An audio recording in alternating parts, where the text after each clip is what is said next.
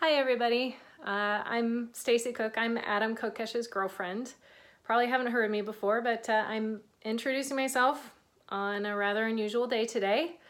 Um, if you've been watching uh, Adam's live video feeds, you probably may have guessed, but he has been arrested and he called me not too long ago from jail.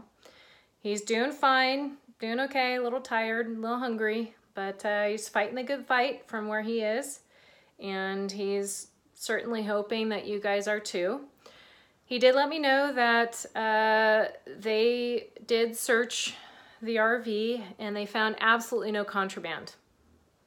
So, uh, details of his arrest are a little questionable. Uh, we don't know what the charges are. And I'm no conspiracy theorist, but kind of makes you wonder something's going on here.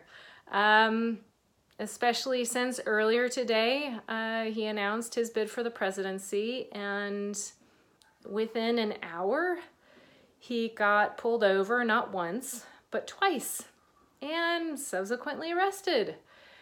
So I'm gonna let you knit all of those little pieces together and maybe come to your own conclusions, but uh, I think that there's probably some serious injustice that just happened here. So, um, thank you, Texas, for highlighting that and uh, for starting this whole thing off.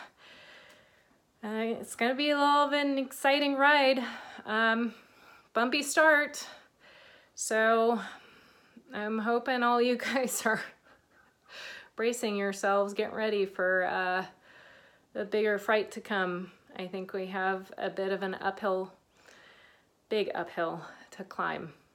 Anyway, um, I guess that's it for now. Uh, probably update you later um, as to what's going on.